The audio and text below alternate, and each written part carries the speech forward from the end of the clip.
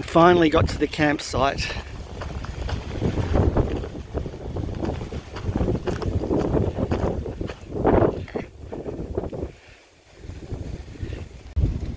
These are the toilets at the Fairhaven campsite at French Island. Two long drops and there's a tank of water there but you have to boil the water according to the sign.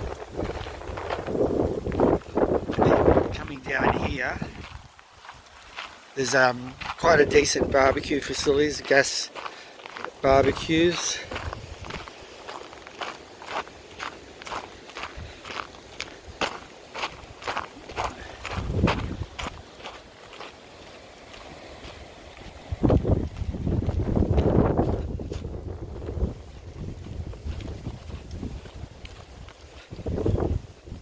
quite clean and decent.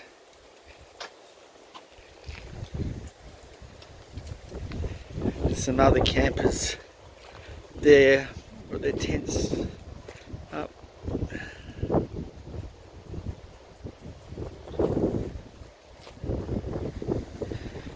There's a sign here showing the different walks and rides that are available around the area.